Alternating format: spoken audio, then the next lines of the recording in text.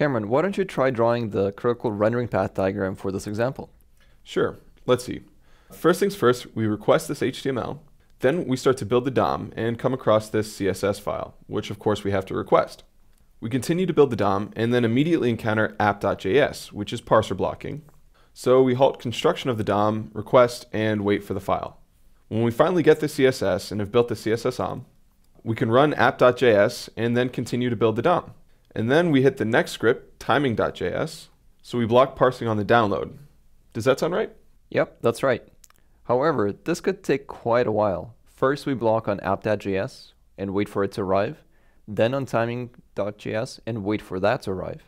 To optimize this particular case, the browser has a special process called the preload scanner, which peeks ahead in the document and tries to discover critical CSS and JavaScript files like timing.js. Oh, that's clever. So even though the parser is blocked, we could discover timing.js and initiate downloads for critical resources? Yeah, exactly. So instead of waiting to build the CSS object model and run app.js before requesting timing.js, the preload scanner finds timing.js and requests it while the parser is blocked.